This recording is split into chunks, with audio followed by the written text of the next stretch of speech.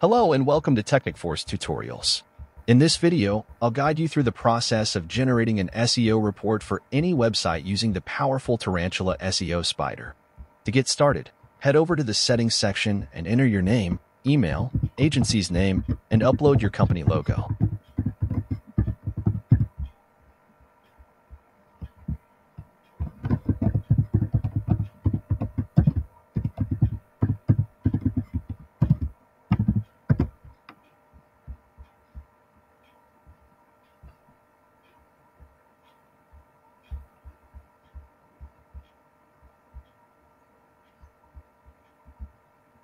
Once your details are saved, we can proceed to generate the SEO report.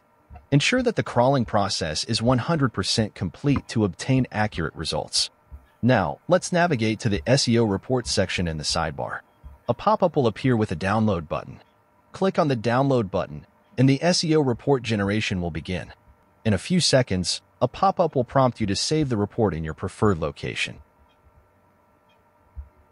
Select the location and click Save.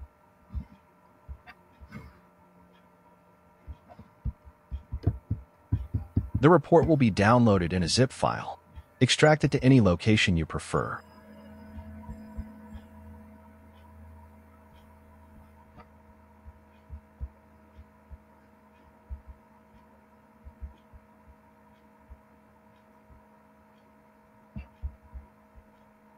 Inside it, you'll find a folder named SEO Report. Open the SEO Report folder, and you'll find your downloaded report in HTML format. You can open this report in any preferred browser.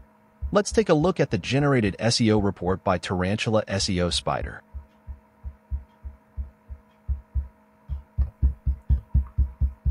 That's how you can effortlessly generate an SEO report using Tarantula SEO Spider.